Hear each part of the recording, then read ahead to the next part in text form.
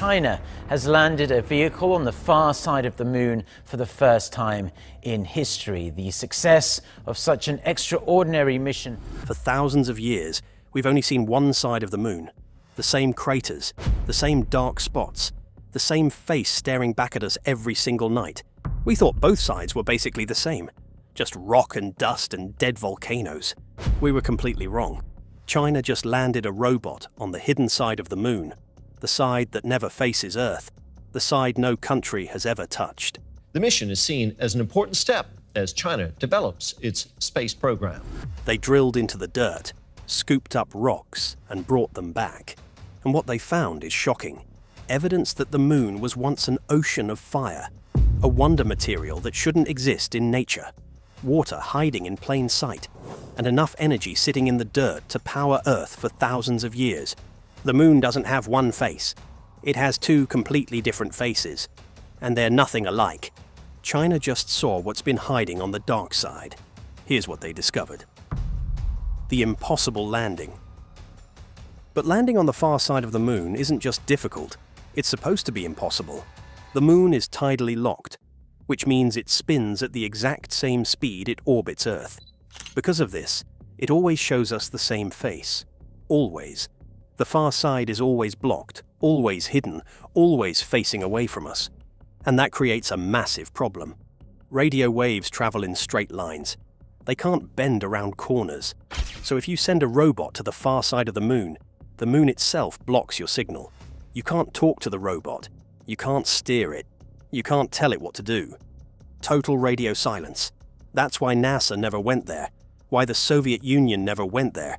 It's a communication dead zone, and without communication, you're flying blind. But China figured out a solution. In 2018, they launched a satellite called Queqiao and parked it in a special gravity pocket on the far side of the moon called a halo orbit. This satellite doesn't orbit Earth, and it doesn't orbit the moon. It hangs in a balanced point between the two, staying in position using almost no fuel. From there, it acts like a mirror, bouncing radio signals over the moon's shoulder. One side faces Earth, the other side faces the far side of the moon. It's a communication bridge floating in space. With this relay satellite in place, China launched Chang'e 6 in May 2024. On June 2nd, it touched down in the South Pole Aitken Basin, the largest, deepest, and oldest impact crater on the Moon. This isn't just a big hole. It's 1,500 miles wide and 5 miles deep. The impact that created it nearly broke the Moon in half billions of years ago. The descent was terrifying. For 15 minutes, the lander was completely on its own, using artificial intelligence to dodge boulders and craters in real time. There was no joystick, no human pilot, just the robot making split-second decisions to avoid crashing. But it stuck the landing. The robot extended a drill, dug into the ancient soil, and scooped up samples from a place no human has ever been. Then it launched back into orbit, transferred the samples to a return capsule, and sent them flying back to Earth. 53 days after landing, a small capsule dropped out of the sky and landed in Inner Mongolia with four pounds of moon rocks inside. When scientists opened it, the first thing they noticed was the colour. The two-faced mystery. Look up at the moon tonight and you'll see dark spots scattered across its face. We call them Maria, which is Latin for seas. But they're not water, they're giant oceans of frozen lava Billions of years ago, massive volcanoes erupted on the near side of the moon and flooded huge areas with black basalt. The lava cooled and hardened, creating those dark patches we see from Earth. But here's the weird part. The far side of the moon has almost zero dark spots. It's white, rugged, and covered in craters stacked on top of craters. No lava floods, no volcanic seas, just ancient battered rock why did one side melt and the other side stay frozen solid? This is called the lunar dichotomy, and it's the biggest mystery in lunar science. For decades, scientists had theories but no proof. The Chang'e 6 samples just gave us the answer. It has to do with a radioactive cocktail. Scientists call it KREEP, which stands for potassium rare earth elements, and phosphorus. These chemicals are radioactive, which means they produce heat a lot of heat. Think of them like a planetary electric blanket buried under the surface.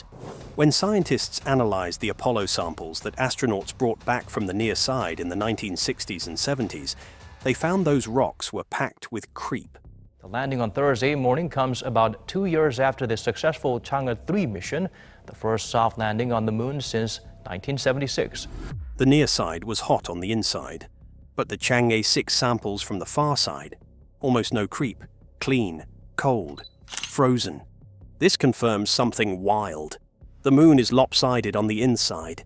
Billions of years ago, when the moon was still forming, all the radioactive elements somehow concentrated on one side, the near side facing Earth. Those radioactive elements cooked the crust from below, heating it up and thinning it out over time. With a thinner crust, magma from deep inside could punch through to the surface and volcanoes erupted for billions of years, flooding the land with lava. The far side, without that internal heater, cooled down fast. It developed a crust that's maybe 20 miles thicker than the near side, and that thick crust acted like a lid. The lava couldn't break through, so while the near side glowed with rivers of molten rock, the far side stayed a cold, white wasteland. The moon isn't one world, it's two worlds glued together, but the chemistry gets even stranger. Imagine taking a pencil. The lead inside is made of graphite, which is just layers of carbon stacked on top of each other. Now imagine peeling off a single atomic layer of that graphite with a piece of tape. That impossibly thin layer is called graphene. Graphene is a wonder material. It's 200 times stronger than steel. It conducts electricity better than copper. It's transparent. It's flexible. On Earth, we make it in high tech labs using lasers, chemicals, and extreme precision. It doesn't just form naturally, or so we thought. Chinese scientists analyzed the Chang'e 6 soil under powerful electron microscopes and found natural graphene flakes sitting in the moon dust. These flakes were just 2 to 7 atoms thick, perfectly formed sheets of carbon. How does a high tech supermaterial end up forming naturally on a dead rock in space? The answer is violent. The moon has no atmosphere, no protection from space. It's constantly being bombarded by meteorites, some the size of grains of sand, others the size of cars. When a meteorite slams into the surface, it creates insane pressure and heat for just a split second. That impact shock compresses carbon molecules in the soil instantly, fusing them together into perfect hexagonal sheets of graphene. The moon is essentially a giant factory, hammering carbon into graphene using asteroid impacts as the tool.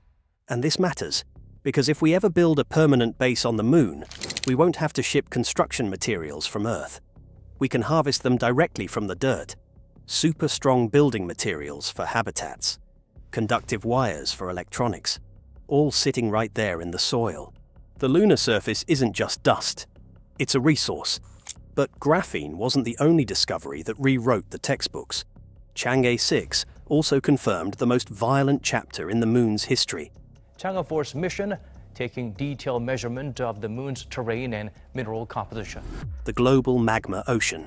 Scientists believe that about 4.5 billion years ago, a Mars-sized planet named Theia smashed into the baby Earth in a catastrophic collision.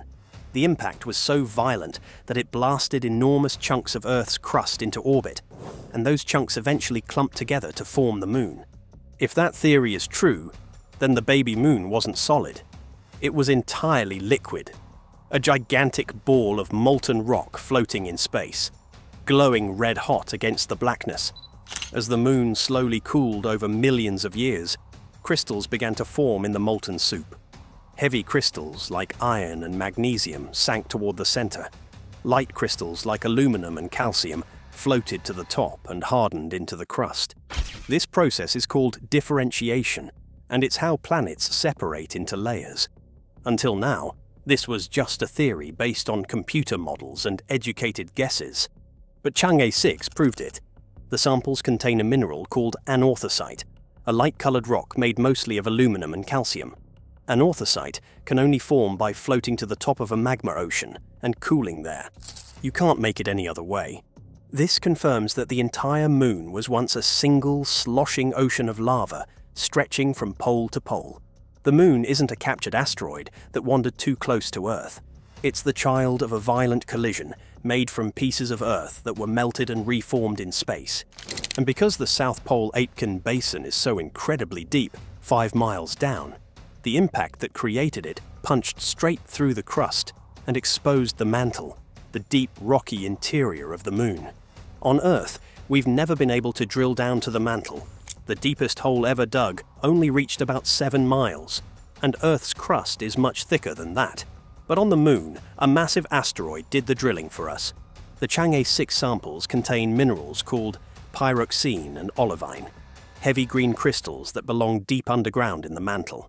Finding them sitting on the surface is like finding gold nuggets washed up on a beach. It shouldn't be there, but it is, because the impact dragged it up from the depths. This gives scientists the first ever direct look at the inside of another world. We're not just looking at the moon's skin anymore, we're looking at its organs. The hidden resources. But the most shocking discovery was something nobody expected to find water. For decades, we were taught that the moon is bone dry. Apollo astronauts brought back dust drier than the driest desert on Earth. No water, nothing. But China's missions shattered that idea. In the Chang'e 6 samples, scientists found a new mineral called ULM1, a hydrated salt with water molecules chemically bonded inside. This isn't ice hiding in a crater. This is water locked in rocks sitting in direct sunlight. And there could be 270 billion tons of it globally, trapped in minerals across the lunar surface. Where did it come from? Meteorites. The samples contained fragments of carbonaceous chondrites, rare space rocks rich in water. For billions of years, the moon has been pelted by these water bombs, and with no wind or rain to wash them away, they're still there, mixed into the soil. This changes everything. If water is everywhere, locked in rocks, we can extract it anywhere. We don't need hidden ice deposits. We can just bake the rocks and collect the steam. The moon isn't a desert, it's a sponge. But water isn't just in minerals, it's also in glass. When meteorites hit, the impact melts rock instantly. Droplets cool in midair and turn into tiny glass beads. The lunar soil is full of them, and these beads are packed with water. The sun blasts the moon with hydrogen. That hydrogen bonds with oxygen in the glass to form water. The glass acts like a storage tank. Scientists estimate these beads alone could hold enough water to fill Lake Tahoe. And it's easy to extract. Just heat the beads, and the water steams out. We don't need to haul water from Earth, we just need a vacuum cleaner and a microwave. But there's something else in that soil worth trillions of dollars helium 3. Helium 3 is a rare isotope that could power nuclear fusion reactors without radioactive waste. Clean, infinite energy. Earth has almost none because our magnetic field blocks it, but the moon's been soaking it up from the sun for 4 billion years. The Chang'e samples confirmed it. Scientists found a new mineral called Changesite Y, a clear crystal with helium-3 inside. This is the first new lunar mineral discovered by China and only the sixth ever found by humanity. China has publicly stated they're interested in mining the moon. They're not just there for science, they're there for resources. Although a latecomer to space exploration, China is quickly catching up and is posing a challenge to the traditional powerhouses in the space arena. Estimates suggest 100 tons of helium 3 could power Earth for a year. The Moon has roughly 1 million tons. That's thousands of years of energy sitting in the dirt. If extracted efficiently, the Moon becomes the most valuable real estate in the solar system. And there's one more discovery. Apollo samples told us the Moon's volcanoes died 3 billion years ago. But Chang'e 5 samples from 2020 were only 2 billion years old. The Moon stayed active a billion years longer than we thought. The Chang'e 6 samples from the far side are older, about 2.8 billion years. The far side cooled first and died early, but the near side, heated by radioactive KREEP, stayed warm and active much longer. One half erupting with fire, the other frozen in silence. That was the moon for a billion years. The race for the moon. So what is China planning to do with all this knowledge? They're not just publishing research papers, they're building a map, a resource map. They know where the water is. They know where the building materials are. They know where the energy is hiding. And they're getting ready to go back. China has announced the International Lunar Research Station, or ILRS. It's a plan to build a permanent base on the moon's south pole by the 2030s, not a small outpost. A real base where people can live and work for months at a time. And by landing on the far side, China has proven they can operate in the most difficult, isolated, and dangerous places on the moon. The far side landing wasn't just a publicity stunt, it was a survey mission. They were checking out the backyard to see if it's a good place to build. The answer is yes. The Chinese probe makes history by landing on the far side of the moon. The Chang'e 4's mission was launched in early December. While NASA focuses on sending astronauts back to the moon with the Artemis program, China is focused on sustainability. They're figuring out how to live off the land, how to extract water from the soil, how to build habitats from local materials, and how to generate power without shipping fuel from Earth. But China isn't the only one looking at the map the United States is looking at the exact same spots. NASA has identified 13 potential landing sites for the Artemis 3 mission, which plans to land astronauts on the moon sometime in the late 2020s. And when you compare NASA's list with China's target zones, they're almost identical. Specifically, everyone wants Shackleton Crater. Why? Because it's perfect. Shackleton Crater sits right at the South Pole. It has high ridges that get near constant sunlight, which means solar panels can generate power almost 24 7, and it has deep valleys that are permanently shadowed and filled with massive deposits of water ice. It's the ultimate piece of lunar real estate. It's like finding an oasis in the middle of the Sahara Desert. Whoever controls that oasis controls the entire desert. China plans to launch Chang'e 7 in 2026 and Chang'e 8 in 2028 to survey the South Pole and map the water ice deposits in detail. NASA plans to land astronauts around the same time. We're heading for a celestial traffic jam. Unlike the space race of the 1960s, where countries planted a flag, took some photos, and went home, this time we're building houses. And there are only a few good spots to build. The discovery of water trapped in glass beads and minerals might relieve some of the pressure. If we can extract water anywhere on the moon, maybe we don't desperately need Shackleton Crater. Maybe there's enough room for everyone. But the race is on, and right now, it's neck and neck. The moon is not what we thought it was. For decades, we treated it like a dusty attic. We climbed up there, looked around, grabbed a few souvenirs, and left. We assumed both sides were the same. We assumed it was dead and useless. But China dusted off the old books and opened the windows. They found a world of duality fire and ice, a world coated in wonder materials like graphene. A world filled with hidden water just waiting to be extracted. They found that the far side isn't just a boring twin of the near side. It's a completely different geological animal with its own history and its own secrets. And most importantly, they found that the moon is useful. It's not just a rock to look at, it's a factory, it's a mine, it's a gas station floating in space, the space race is back on, but this time the finish line isn't a flag planted in the dirt. It's a factory, a power plant, and a permanent settlement. And right now, China has the best samples sitting in their labs. So what do you think? Are you excited about mining the moon? Or do you think we should leave it alone? And what about that graphene?